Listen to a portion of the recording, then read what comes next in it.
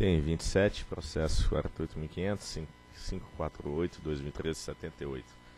Pedido de reconsideração interposto pela CELG Distribuidora S.A. em face da resolução autorizativa 4.320 de 2013, que autorizou a revisão da configuração dos conjuntos de unidades consumidoras e estabeleceu os limites de continuidade de serviço de distribuição de energia nos seus aspectos de DEC e FEC para os conjuntos da área de concessão da recorrente no período de 2014 a 2017.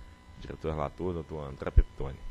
A resolução 4.320, de 5 de setembro de 2013, autorizou a revisão da configuração dos conjuntos de unidades consumidoras e estabeleceu os limites de DEC e FEC da CELG. Em setembro de 2013, a CELG encaminhou pedido de reconsideração à ANEL, no qual solicitou a reforma da decisão contida na Resolução 4.320 de 2013, com base nos seguintes argumentos. Primeiro, alega a CELG a ausência de reajustes tarifários por quase seis anos. Isso é pelo fato da CELG ter ficado um período demasiado inadimplente com os encargos setoriais e, diante disso, não poderia praticar o reajuste. Tem uma vedação legal.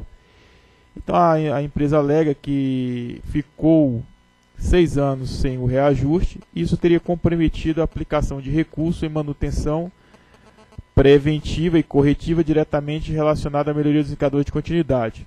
E alega também problemas na apuração dos indicadores de continuidade em anos anteriores, teria afetado a definição de valores regulatórios dos anos seguintes, especialmente o do ciclo. E pela nota técnica 27, de 14 de abril de 2014, a SRD examinou, é, examinou os argumentos apresentados pela CELG e encaminhou suas conclusões para a apreciação da diretoria colegiada. É o relatório. Já se manifestou?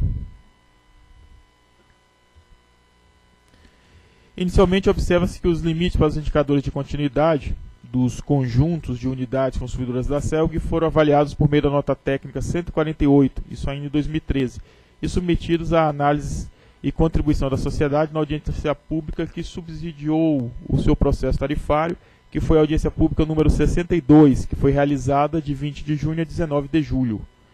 Em seguida, a nota técnica 205, que fez a análise da, das contribuições da audiência pública 62, apresentou a proposta final de limites a serem considerados no período de 14 a 17 e que foi aprovada então pelo colegiado e resultou na na resolução autorizativa 4.320. Conclui-se, portanto, que o rito previsto no processo de revisão tarifária das distribuidoras para o, para o estabelecimento de limites de indicadores de continuidade ele foi devidamente observado. Quanto à alegação da CELG de que a não aplicação de reajuste tarifário comprometeu a melhoria dos indicadores de continuidade, verifica-se não ter fundamento. As consequências das medidas punitivas aplicadas à CELG não devem ser consideradas no processo de, de definição de limite de DEC e FEC, já que foram aplicadas devido a inconformidades decorrentes da gestão da distribuidora. Quanto ao aprimoramento do processo de apuração dos indicadores de continuidade, da mudança de sistema de, em agosto de 2012, os quais teriam resultado em elevação dos valores apurados dos indicadores de continuidade, a SRD esclareceu que, no processo de estabelecimento dos limites dos indicadores coletivos, os valores propostos foram baseados em desempenho já antigo nos últimos anos por conjuntos semelhantes ao da CELG. Assim, a influência do desempenho da distribuidora é praticamente desprezível na definição dos limites, já que toda a análise de eficiência é baseada em análise comparativa de conjunto de distribuidoras distintas. Por fim, a nota técnica 205 da SRD comparou os limites de distribuidoras da região Centro-Oeste e outras consideradas do mesmo porte da CELG. A comparação dos limites das distribuidoras permite concluir que os valores propostos pela CELG não destoam dos do que os valores propostos pela CELG então na época não destoam dos valores estabelecidos para outras distribuidoras, conforme se depende da figura 1 e da figura 2. Nós temos aqui diversas distribuidoras, cada linha, cada cor representa uma distribuidora e as barras representam a CELG.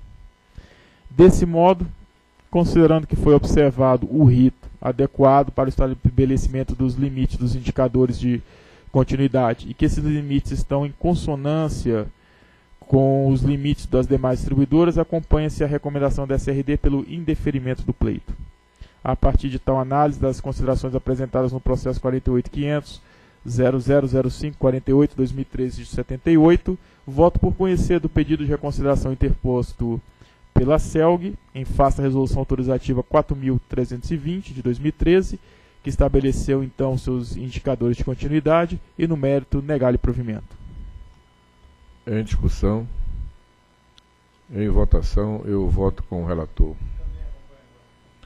Também acompanho o relator. Proclamamos a decisão da diretoria por conhecer do pedido de reconsideração interposto pela CEL Distribuidora SA, em face da resolução autorizativa número 4.320 de 2013, que estabeleceu os limites de continuidade dos serviços de distribuição de energia elétrica e no mérito negar-lhe provimento próximo item.